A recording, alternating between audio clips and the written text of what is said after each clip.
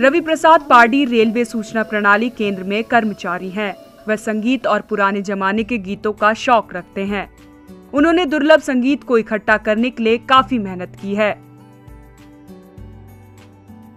उन्होंने इन गानों के अब तक 5000 कैसेट, ऑडियो सीडी और 30000 से अधिक ग्रामोफोन और एलपी रिकॉर्ड इकट्ठा किए हैं। तेलुगु और हिंदी रिकॉर्ड के अलावा रवि प्रसाद ने बंगाली, तमिल और अंग्रेज़ी में भक्ति गीतों और प्रसिद्ध भाषणों का एक अनूठा संग्रह इकट्ठा किया है। जीना तो है तो है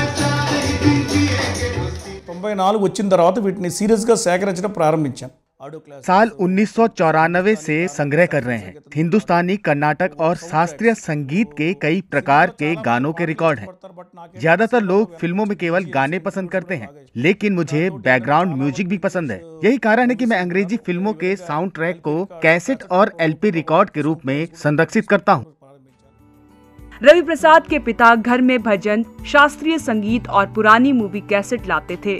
धीरे धीरे रवि के भीतर संगीत के लिए जुनून विकसित हुआ। उन्होंने विश्व प्रसिद्ध संगीत निर्देशकों के मूल साउंड ट्रैक एकत्र करना शुरू किया। चूँकि ग्रामोफोन रिकॉर्ड्स और गानों के विवरण केवल हिंदी और तमिल में उपलब्ध थे, रवि ने दोनों भाषाओं को सीखा। उनके पास कई पुराने रिकॉर्ड्स हैं, जो संगीत निर्देशकों के पास उपलब्ध नहीं हैं। करना किसी वस्तु को एकत्रित कर उसका कलेक्शन बनाना उसे खरीदने से अलग है। अगर मैं किसी दुकान से रिकॉर्ड खरीदता हूँ तो इसका मतलब ये है कि ये बाज़ार में उपलब्ध है। ऐसा कुछ प्राप्त करना जो मेरी पहुँच में ना हो वह संग्रह कहलाता है। मैंने इन कलेक्शन को इकट्ठा करने के लिए देश भर में यात्रा की। यह काफ़ी खर्चीला रहा। रवि प्रसाद ने आयकर विभाग से अपना करियर शुरू किया था। उन्होंने अब तक चौदह सरकारी नौकरियाँ बदली हैं। यह सब संगीत सुनते हुए किया। वे अपनी कमाई का 60 प्रतिशत ग्रामोफोन रिकॉर्ड्स और कैसेट पर खर्च करते हैं। एक बार वह एक दुर्घटना में गंभीर रूप से घायल हो गए थे और महीनों तक बिस्तर पर पड़े रहे।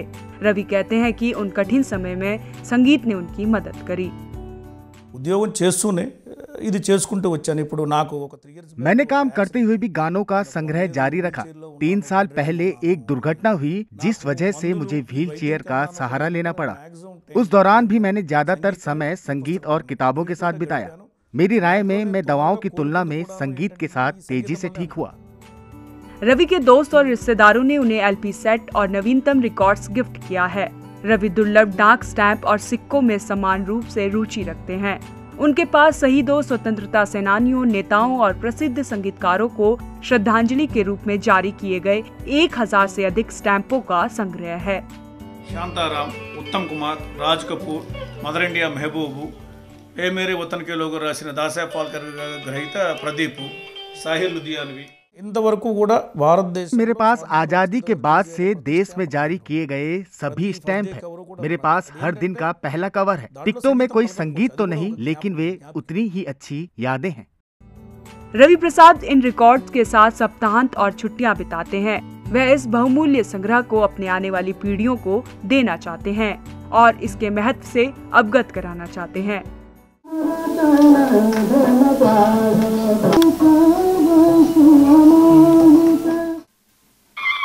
Report ETV Bharat.